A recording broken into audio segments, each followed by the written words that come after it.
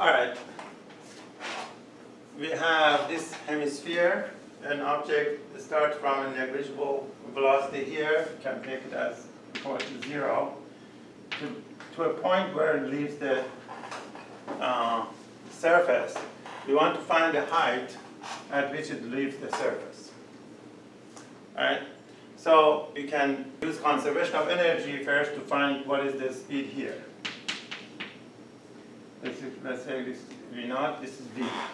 So use conservation of energy, say Ki plus Ui plus W non-conservative equal to Kf uh, plus Uf. If I take y-axis to be upward uh, from, from this level, now this is x-axis, then Ki is basically zero, and because there's no friction, W non-conservative is also zero.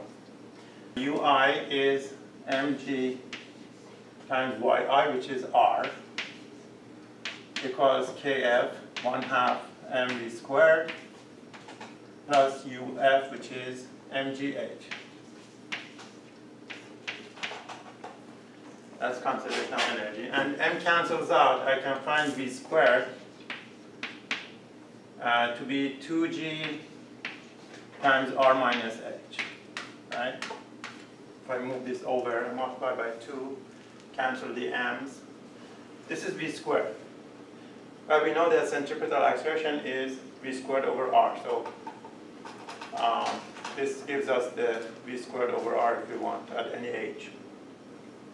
So now we want to see at this point that with height h, there are two forces acting on this object. One is the force of gravity, which is mg, and one is the normal force in general, eh, which is in this direction.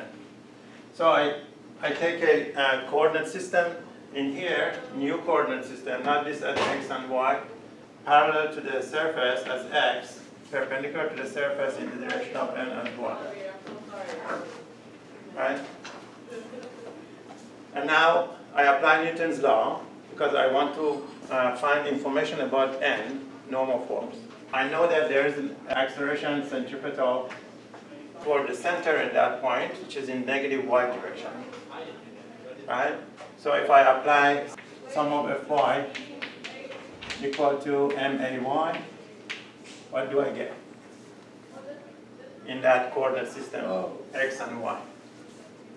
n minus mg cosine theta Yeah, if, yeah, if this angle is theta, which is the same as this angle, um, if I take this angle as theta, let's call this theta, where, uh, sum of Fy is normal force magnitude minus mg cosine theta equal to MAY. MAY means M times the y component of A. Because A is in negative y direction, I put negative of magnitude of acceleration. Does that make sense? Mm-hmm. So now I have this v squared. I plug it in.